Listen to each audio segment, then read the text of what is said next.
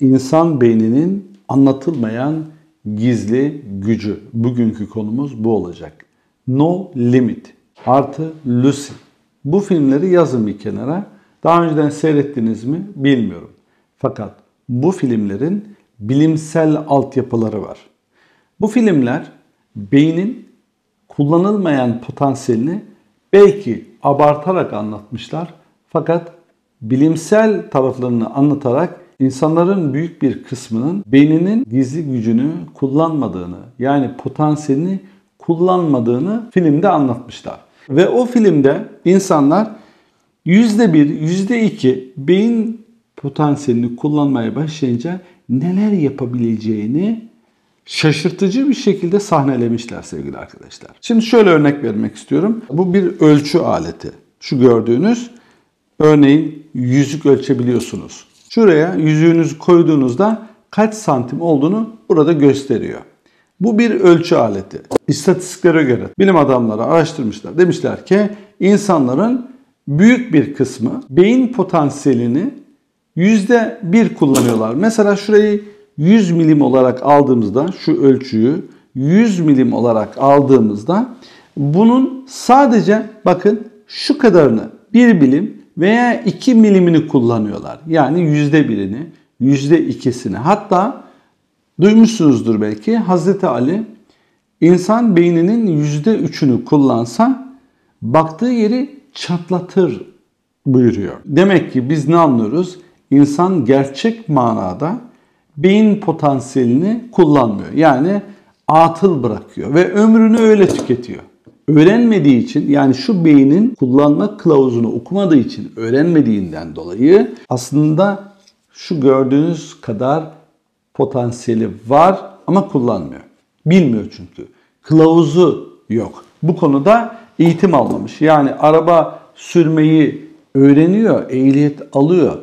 Ama şu beyni kullanmanın kursuna gitmemiş, ehliyetini almamış.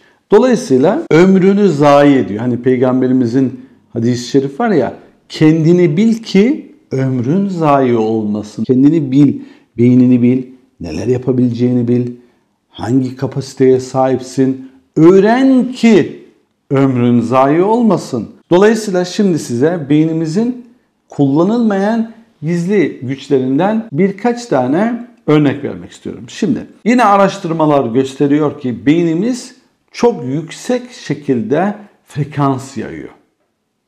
Çok yüksek frekans yayıyor. Bazı insanlar çok itici oluyor değil mi? Bu ne ile alakalı?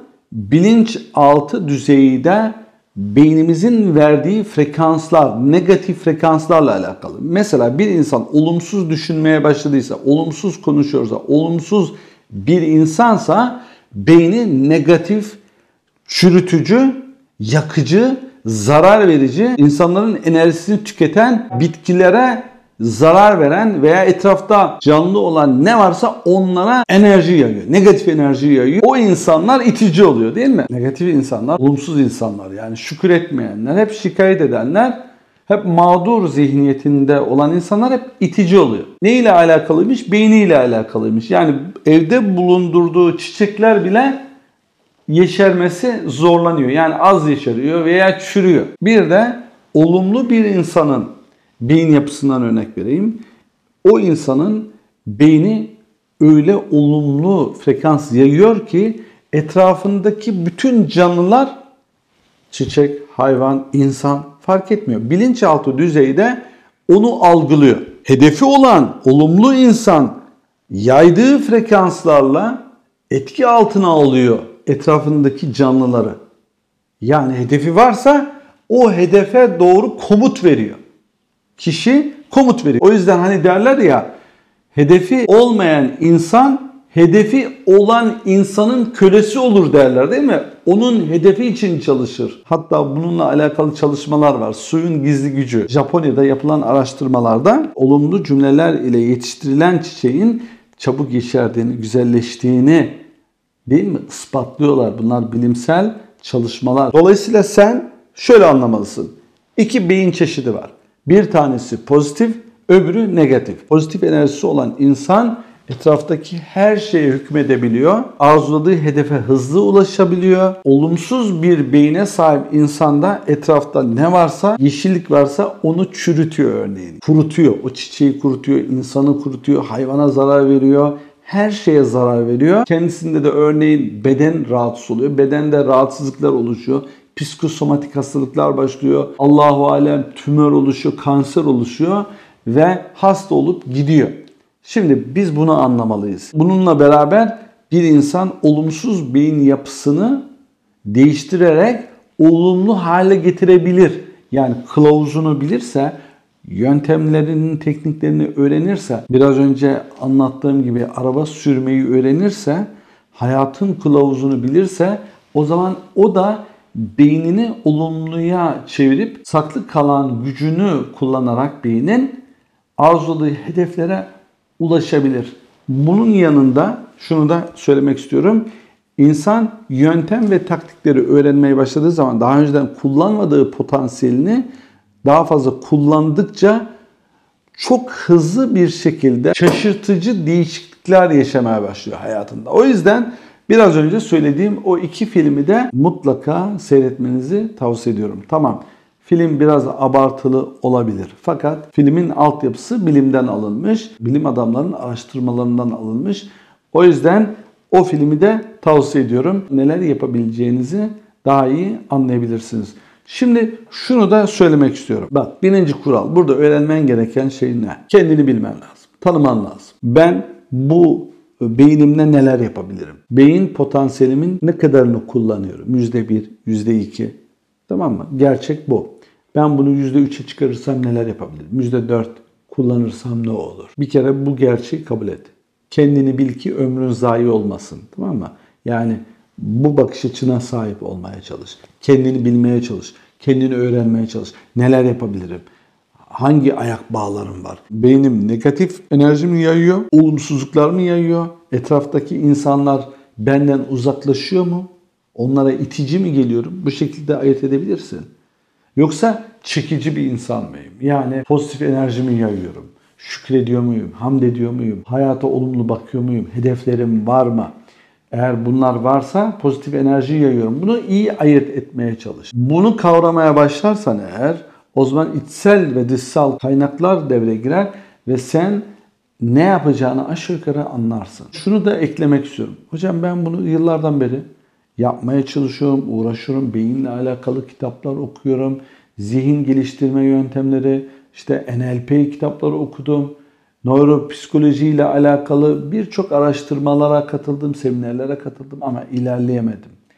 Evet, her seferinde söylediğim gibi neden ilerleyemediğini sana söyleyeyim. Çünkü sen kitap okuyarak ehliyet alamazsın. Araba sürmeyi öğrenemezsin. Sen kafaya koyduysan gerçekten hayatını değiştirmek istiyorsan, pozitif manada bir şeyler öğrenmek istiyor ve bunu hayatına yansıtmak istiyorsan senin bir rehbere ihtiyacın var. Yani bir şoför öğretmeni gerekiyor. Sana araba sürmeyi öğretecek bir rehbere ihtiyacın var. Her seferinde bunu söylüyorum. Dolayısıyla kendini o şekilde oyalayacağına ne yap? Kendine bir rehber bul. Seni gerçekten arzuladığın A noktasından B noktasına hızlı götürsün. Çünkü o adam biliyor. 35 bin kere yardımcı olmuş insanlara. Dolayısıyla sen bir kere uğraşıyorsun, bir kişiyle uğraşıyorsun yani kendinle uğraşıyorsun. Senin tecrüben bir kişiyle alakalı, öbür kişinin tecrübesi 35 bin kişiyle alakalı. Dolayısıyla bu gerçeği kabul et. Sonra rehber bulmaya çalış. Bak devamlı söylüyorum. Biz yıllardan beri Almanya'dan Avrupa'daki vatandaşlarımıza hep bu konularda yardımcı olduk. Onların beyin, zihin yapılarını ölçtük, analiz ettik, neler yapabileceğini gösterdik. Bak senin böyle bir potansiyelin var. Mülakat yaptık biz onlarla. Senin ayak bağların bunlardır, engellerin bunlardır. Arzu hedefine şu şekilde bu stratejiyle gidersin. Yani onlarla bir strateji belirledik. Yani adım adım yapması gereken stratejileri nokta nokta gösterdik. Bu kişiler hiç zorlanmadan bizim söylediklerimizi bir çeşit reçete gibi madde madde uyguladılar. Onlara verdiğimiz stratejileri adım adım yaptılar ve arzuladıkları hedeflere ulaştılar. Çok enteresan ve güzel değişiklikler oldu ve şaşırdılar hepsi. Ya hocam daha önce hiç ummadığım, hiç aklımın ucundan geçmeyen hedeflere ulaştım. Ben bunu nasıl yapabildim diye şaşırdılar. Ve herkes şaşırabilir. Sen de şaşıracaksın. Bak bunu açık ve net söyleyeyim.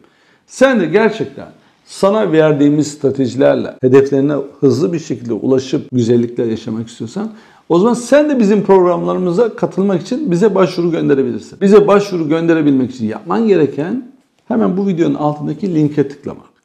Formu doldurup göndermek.